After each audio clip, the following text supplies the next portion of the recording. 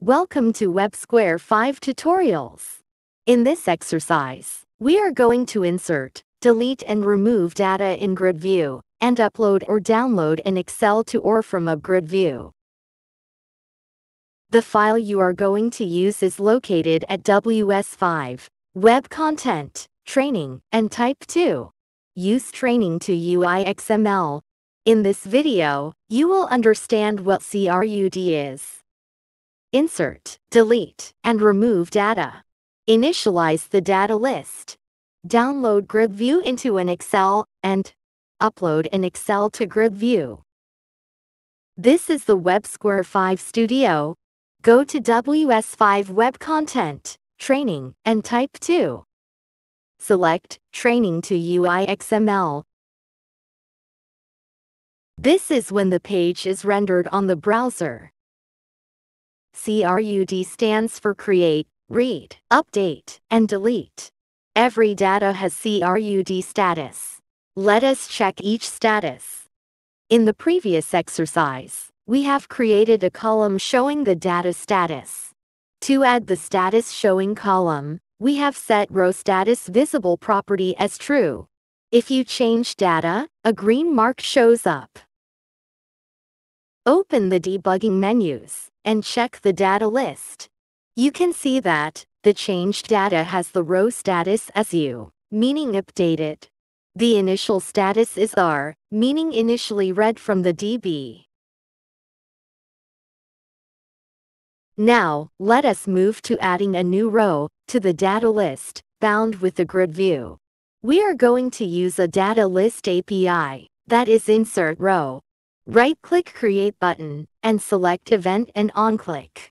This is to add an OnClick event to the Create button. Remember that you add data to the data list, not the grid view. The grid view simply shows data of the data list that it is bound with. If you give index 0 in the Insert Row API, the new row will be added on the first row, or at index 0 position. Let's check on the debugging menus. The status of the newly added row is C, meaning created. Now, remove the index 0. Save. Reload the page. Click the Create button. The new row is added on the last row. Now, let us focus a certain row and add a row above the focused row. To do this, we have to define the ID of the grid view, because we are going to use a grid view API. The grid view ID is grid view 1. Using the get focused row index API of the grid view, get the currently focused position. Then, insert a row above the focused row. Save. Reload the page. Click any row on the grid view, and click Create button you can see that a new row is added above the clicked row. Now deleting a row. For this, use the Delete Row API. Also, an API of the data list, not the grid view. Right-click Delete button, and select Event and OnClick. Use Delete Row API, and specify the index as 0. This means the first row on the data list will be deleted. Save and reload the page. Click Delete button. The red mark is displayed on the status column. Note that deleting is only to change the data status to D, meaning deleted, not actually eliminating the data. You can also delete the currently focused row. This time also, use the Get Focused Row Index API of the grid view. Save and reload the page. Focus any row, and click the Delete button. You can see that the status of the focused row is changed to D, meaning deleted.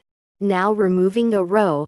Remove is to entirely eliminate the data, unlike delete, that is simply to change the data status.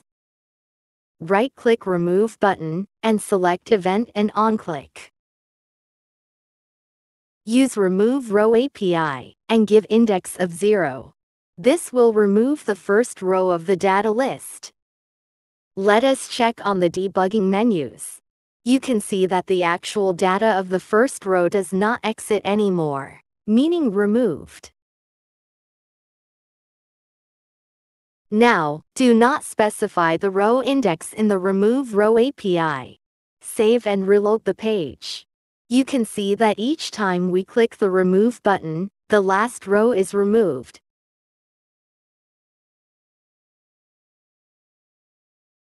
Lastly, let us remove the focused row. Use the Get Focused Row Index API of the grid view, the same API that we have used previously to delete the focused row.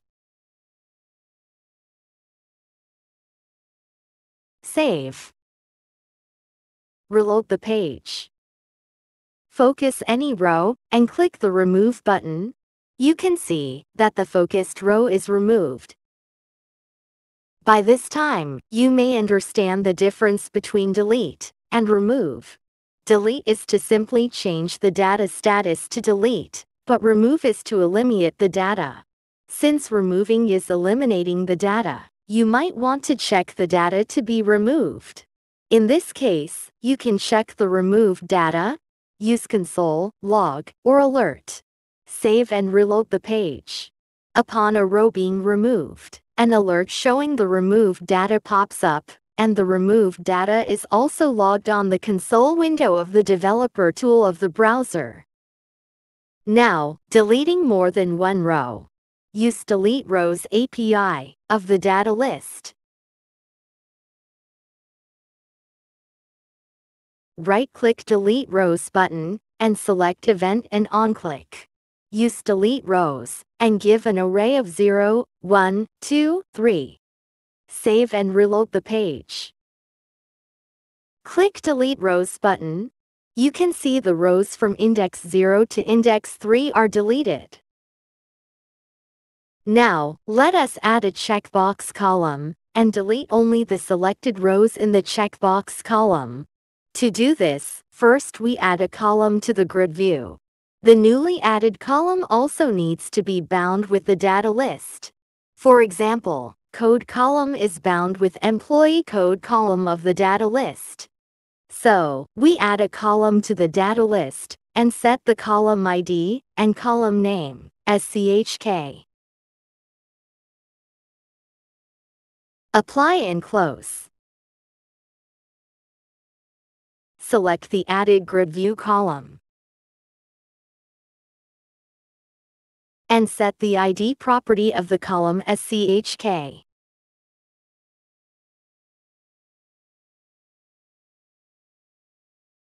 Also, set the input type of the column as checkbox. Save. Reload the page. You can see a new column with checkboxes has been added to the grid view. Now, let us add a checkbox to the header. Click the header and set the input type as checkbox. Save and reload the page. By clicking the header checkbox, you can select the entire rows of the grid view. Clicking a checkbox changes the row status. If you do not want this, go to the studio and select Outline, Head, and the data list, and select the CHK column of the data list. Then, on the property view, set the ignore status property of the data list column as true. Save and reload the page.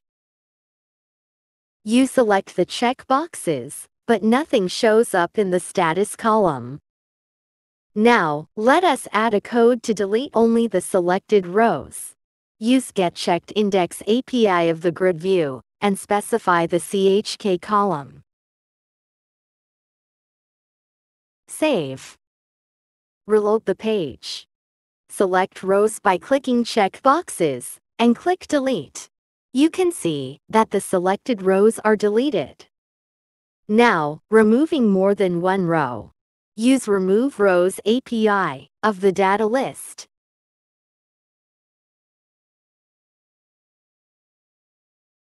Right-click Remove Rows button and select Event and on-click. Use Remove Rows API and specify the index as an array of 0 to 3. Save and reload the page. Click Remove Rows button.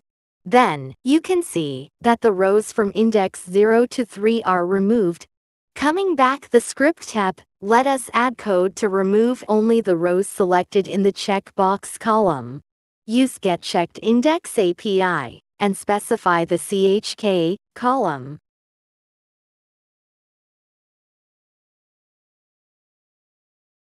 Save. Reload the page.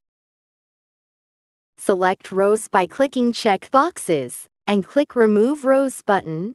You can see that the selected rows are removed. You can also check the data of the removed rows. This is an example code to view the removed data on the console window of the developer's tool of the browser, as well as through an alert message. Use console log or console table to view multiple rows or alert.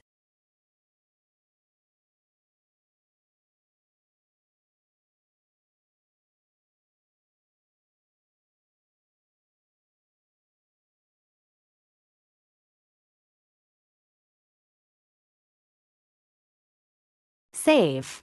Reload the page. Select multiple rows and remove. The removed data is displayed as an alert and also displayed on the console window of the developer's tool. Now, initializing the data list.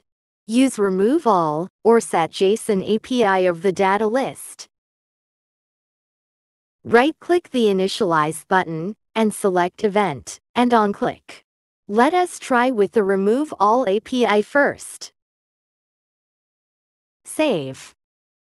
Reload the page. Click Initialize. No data on the grid view. Now, try Set JSON API. Save. Reload the page. Click Initialize. Also, no data. Note however, set JSON is faster than remove all API. You can download the current grid view as an Excel file. Right-click Download button and select Event, and on-click. Use Advanced Excel Download API of the grid view. Save. Reload the page. Click Download. Open the downloaded Excel file.